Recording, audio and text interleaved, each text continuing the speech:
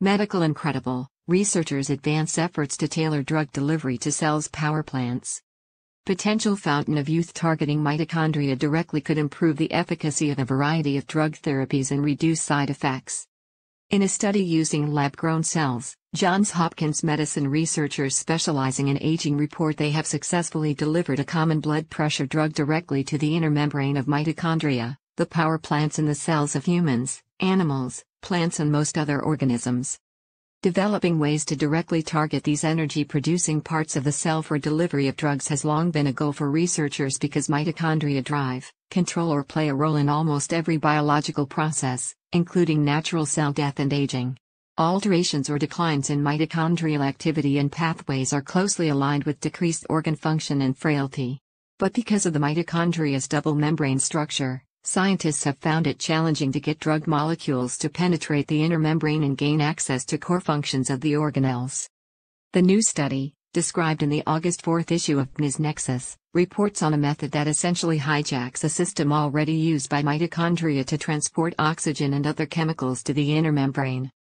Our study shows that we can use the body's natural mitochondrial transport system to deliver drugs much more precisely, says Peter Abadir, MD, Associate Professor of Geriatric Medicine and Gerontology at the Johns Hopkins University School of Medicine. For the study, the researchers' lab synthesized three naturally occurring transport proteins that interact with mitochondria.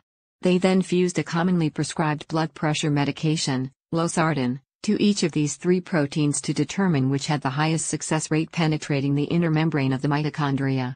These fused proteins, DEPMTLOS1, MTLOS2 and MTLOS3, when introduced to lab-grown cells in separate trials, were able to transport the drug directly to the mitochondria at a significantly higher concentration than was possible with free losartan not fused to the transport protein. This could be seen under a microscope using fluorescence. In a proof-of-concept experiment, the researchers also tested a scrambled version of MTLOS, which was unable to penetrate the inner membrane. Abadir says further research is needed, but the goal is to use MTLOS or other natural transport pathways to deliver medicines that directly and efficiently target the biochemical imbalances and losses linked to chronic inflammation and weakened organ function characteristic of aging and many disorders. We know people age in part because of mitochondrial decline, and scientists have been trying to get therapies directly into the organelle to counteract this decline for decades, says Abadir.